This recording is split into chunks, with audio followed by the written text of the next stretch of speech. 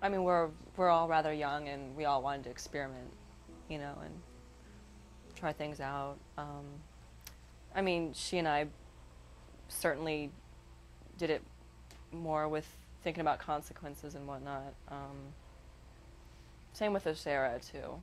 She totally kept me in check. Um, she kept me from bombing a couple of tests because I would want to go out, and she'd be like, "You need to stay home and go to bed." She'd be like, "I'm going to go home and go to bed," and I'd be like, "Don't you want to go have fun when our when our young prime years now?" And and she's like, "Oh, but you got school," and I'm like, "Oh man." I myself, and I think a, a lot of other people in the group are very like, oh, well, that sounds great, but never think of the bad things. And she would, and, and, or, or, think of just the other sides, and I think she would just present that. And I mean, not all the time. And it wasn't like she was a prude or anything. I mean, she was still a, a risky, and she still was fun. It was just sometimes, you know, I would get a little too risky, and she would be like, well, this is what, you know, this is what might happen. Not that I wouldn't still do it. She would just offer that opinion, and if I did decide to do it, she'd be supportive.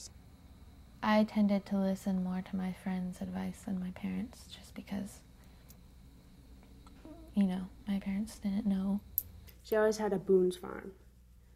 She always drank Strawberry Hill, Boone's Farm, and then like, like especially when Molly and I would drink, we would just. I mean, we were like 16, you know, like when you drink, you're gonna drink, you know. And she would always just be like, take the bottle away and be like, you know, you need to lay down, you need to yeah, in that sense, she was very motherly. And she never got drunk, ever. I've never seen her drunk. Like, I've seen everybody drunk, you know, like we, you know, get drunk.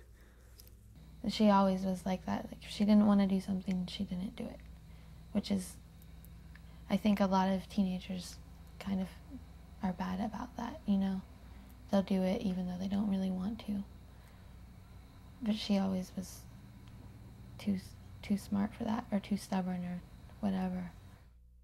Brutally honest, you know, like if you know, like, hey, your hair looks stupid. you know, none of that, oh yeah, it looks nice. It was, yeah, no, that looks bad. And that's how Sally was, you know? She said whatever she felt and always teased her about her being so brutally honest and you know it's weird in our circle because I mean we all look up to each other in different ways. But with her, she was like the only person who I really trusted to be honest with me. Because, I mean, some people, they just don't want to, like, hurt your feelings or they don't want to, you know, like, bring you down. And it wasn't like she wanted to do that either, but she just knew that, that you needed to hear certain things. And she was more just like, this is what, this is what it is. You know, deal with it. She wasn't like, oh, it's okay. She was more like, well, you know, you did do this, and so now you have to deal with it she was almost like a conscious, like to a lot of us. I mean, she was definitely the most responsible. She definitely was the most grounded. Like, because I, I tend to just float off into space, and she could definitely just pull me back and say, "You're going too far," you know.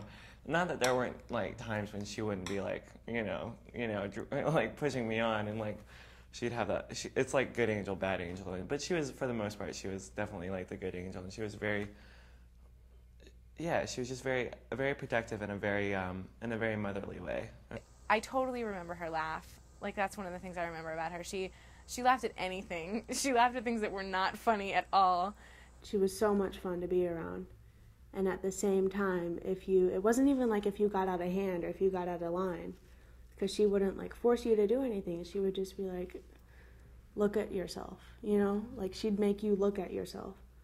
Like she drove me to Cleveland because I had to be in Cleveland. Like she just did that for me, and you know, without any real reason for her to do it. And like, like really, that that whole unconditional thing. Like I really felt like there was very little I could do that would make her mad, and and that was part of like.